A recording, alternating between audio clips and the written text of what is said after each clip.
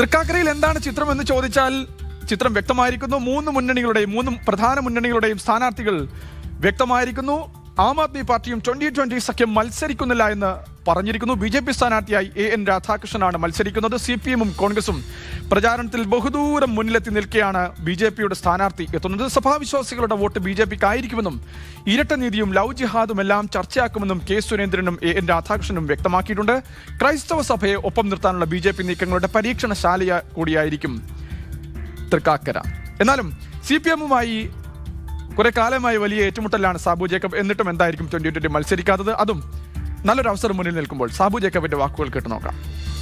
ഒരു ഉപതെരഞ്ഞെടുപ്പിന് അത്ര വലിയൊരു പ്രാധാന്യം കൊടുക്കണ്ട എന്നുള്ളൊരു തീരുമാനത്തിൽ എത്തിച്ചേരുകയുണ്ടായത് അതുകൊണ്ട് തന്നെയാണ് ഞങ്ങൾ ഇതിൽ ഈ തവണ മാറി നിൽക്കുക എന്ന് തീരുമാനിച്ചത്. ഞങ്ങൾ പതിനഞ്ചാം തീയതി ഇപ്പോൾ മുഖ്യമന്ത്രി കേജ്രിവാൾ ഇവിടെ വരുന്നുണ്ട്. അദ്ദേഹം കൂടി ആലോചിച്ചിട്ട് അങ്ങനെ ഒരു നിലപാടെടുക്കണമെങ്കിൽ പതിനഞ്ചാം തീയതി ഞങ്ങളത് വ്യക്തമാക്കുന്നത് വളരെ പെട്ടെന്ന് എടുത്തു ചാടി ഒരു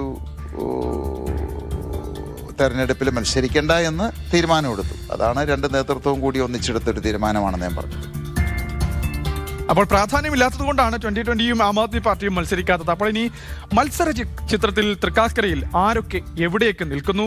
എന്താണിപ്പോൾ തൃക്കാക്കരയിലെ പൊതുവിലുള്ള സ്ഥിതി? കെ ജി കമലേഷ് വിശകലനം ചെയ്യും. ഒടുവിൽ തൃക്കാക്കരയിൽ ചിത്രം തെളിഞ്ഞു. ഉമാ തോമസും ജോ ജോസഫും പിന്നെ എ എൻ രാധാകൃഷ്ണനും. സ്ഥാനാർത്ഥി എവിടെയെന്നുള്ള ചോദ്യം ബി ജെ പി ക്യാമ്പിൽ നിന്ന് തന്നെ ഉയർന്നു. വിമർശനങ്ങളുമൊക്കെ ഉയരുന്നതിനിടെയാണ് രാവിലെ സംസ്ഥാന വൈസ് പ്രസിഡന്റ് എ എൻ രാധാകൃഷ്ണനെ മത്സരിപ്പിക്കാൻ പാർട്ടി തീരുമാനിച്ചത്.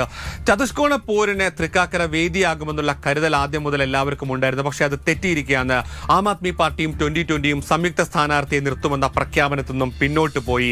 ആപ്പ് നേരത്തെ നടത്തിയ സർവേയിൽ തന്നെ മത്സരിപ്പിച്ചിട്ട് കാര്യമില്ല എന്നുള്ള ഒരു റിപ്പോർട്ട് ഉണ്ടായിരുന്നു അതിന്റെ കൂടി അടിസ്ഥാനത്തിലാണ് പിന്മാറ്റം. ഇത് സംസ്ഥാന ഭരണത്തിൽ യാതൊരു തരത്തിലുള്ള മാറ്റവും വരുത്താത്ത കാരണം സംഘടന ശക്തിപ്പെടുത്തുന്ന തീരുമാനത്തിലേക്ക് പോകണം. ഇനി വരുന്ന നിയമസഭാ ലോക്സഭാ തെരഞ്ഞെടുപ്പിൽ കൂടുതൽ ശ്രദ്ധ ചെലുത്താൻ വേണ്ടി മത്സരരംഗത്ത് ഉണ്ടാകില്ല എന്നുള്ള തീരുമാനമാണ് ആപ്പും ട്വന്റി ട്വന്റിയും കൈക്കൊണ്ടത്. ഇനി ഇവരുടെ വോട്ടുകൾ ആർക്കായിരിക്കും എന്നുള്ളതാണ് ഏറ്റവും പ്രധാനപ്പെട്ടത്. ഇവരുടെ പിന്മാറ്റത്തിന്റെ ആശ്വാസത്തിലും ആശങ്കയിലുമാണ് യു ഡി എഫും എൽ ഡി എഫും. U D F U D എഫിനെ സംബന്ധിച്ചിടത്തോളം കഴിഞ്ഞ നിയമസഭാ തെരഞ്ഞെടുപ്പിലും കൊച്ചി കോർപ്പറേഷൻ തെരഞ്ഞെടുപ്പിലും ഒക്കെ തന്നെ ട്വന്റി ട്വന്റിയുടെ സാന്നിധ്യം പല രീതിയിൽ ദോഷം ചെയ്തിരുന്നു. ഇനി അത് മാറിയെന്ന് യു ഡി എഫ് കണക്ക് കൂട്ടുമ്പോൾ ഈ വോട്ട് നഗര കേന്ദ്രിതമായ നിഷ്പക്ഷ വോട്ട് ഞങ്ങൾക്കായിരിക്കുമെന്ന് എൽ ഡി എഫും കണക്ക് കൂട്ടുകയാണ് ആ വോട്ടിൽ കണ്ണുവെച്ചാണ് ഇരുമുന്നണികളെ നീക്കം. കഴിഞ്ഞ തവണ പതിമൂവായിരത്തിലേറെ വോട്ടാണ് തൃക്കാക്കരയിൽ ട്വന്റി ട്വന്റി സ്ഥാനാർത്ഥി പിടിച്ചത്.